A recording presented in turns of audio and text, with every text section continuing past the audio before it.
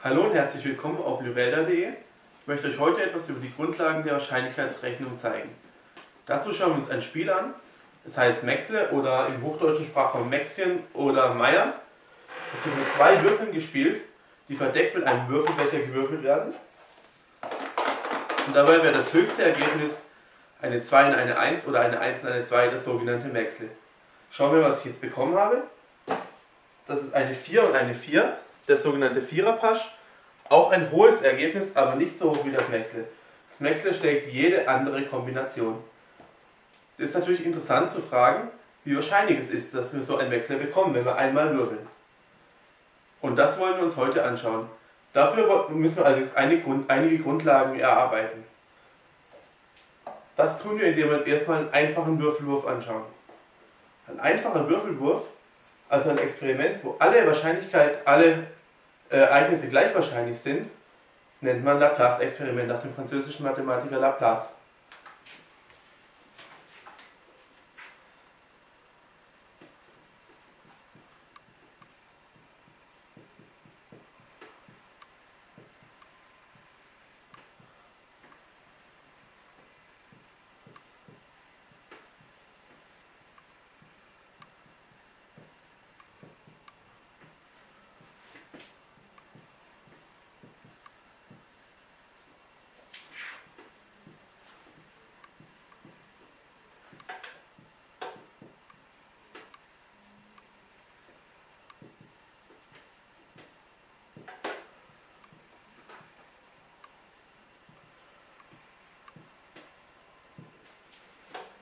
Neben dem Würfel wäre ein weiteres Beispiel für ein Laplace-Experiment ein Münzwurf. Da wären die Ereignisse Kopf und Zahl gleich wahrscheinlich.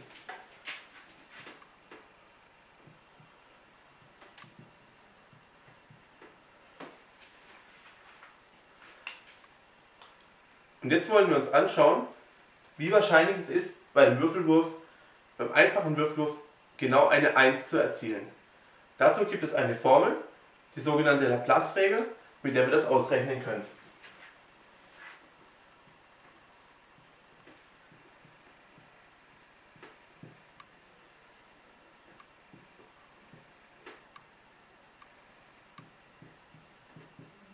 Die Formel besagt, dass die Wahrscheinlichkeit eines Ereignisses a, also bei uns gerade die Wahrscheinlichkeit eine 1 zu würfeln, gerade die Anzahl der günstigen Ereignisse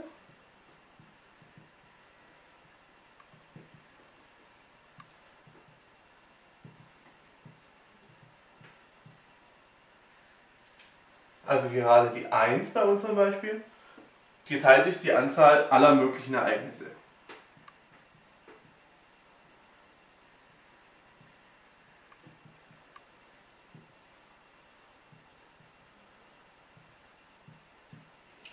Das jetzt mathematisch aufgeschrieben wäre die Mächtigkeit von a geteilt durch die Mächtigkeit von s. Das heißt der Betrag von a geteilt durch den Betrag von s. Das heißt gerade eben die Anzahl der jeweiligen Ereignisse in dieser Menge. Bei uns wäre das, wenn wir fragen, wie wahrscheinlich eine 1 ist,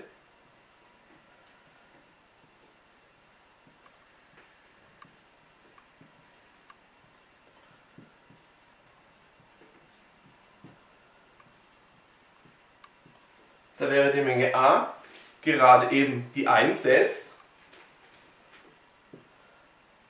die Menge S alle möglichen Ausgänge 1 bis 6.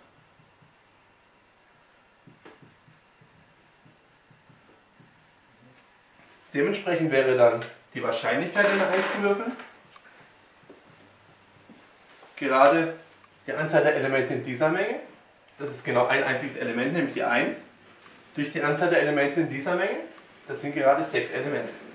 Das heißt, die Wahrscheinlichkeit einer 1 zu würfeln ist ein Sechstel wie sich vielleicht einige von euch schon gedacht haben.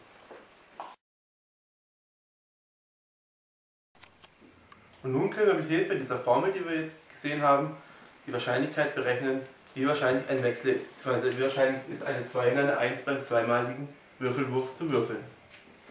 Dazu betrachten wir wieder unsere Gesamtmenge S, also die Menge aller möglichen Ausgänge. Da wäre zum einen die 1 und die 1 die 1 und die 2, die 1 und die 3, 1 und die 4 und so weiter bis 1 und 6. Damit hätten wir alle abgedeckt, die bei den ersten Würfel eine 1 haben. Dann kämen die 2 und die 1, 2 und die 2, 2 und die 3, bis 2 und die 6. Das wären alle, die im ersten Würfel eine 2 haben. Und so weiter. Das wäre dann die 3 und die 1, 3 und die 2, 3 und die 3, bis 3 und die 6, 4 und die 1, 4 und die 2, bis 4, 6, 5, 1, 5, 2, bis 5, 6, 6, 1, 6, 2 bis 6, 6. Somit haben wir also alle Möglichkeiten abgedeckt. Wenn wir jetzt abzählen wollen, wie, wie viele Elemente in dieser Menge drin sind, kann man erkennen, hier in der ersten Reihe haben wir 6 Elemente, in der zweiten hätten wir auch wieder 6, dann wieder 6, 6, 6 und 6. Das heißt, wir haben 6 mal 6 Elemente gleich 36. Man hätte es sich auch so überlegen können, dass wir hier 6 Elemente in der Breite und 6 Elemente in der Länge haben, dass man es dann wie bei einem Rechteck Länge mal Breite 6 mal 6 bis 36 berechnen hätte können. Und jetzt müssen wir ja noch die Anzahl aller günstigen Ereignisse bestimmen. Das heißt gerade die Ereignisse aus dieser Menge, bei denen ein Wechsel gewürfelt worden wäre. Das ist die 1 und die 2 und die 2 und die 1.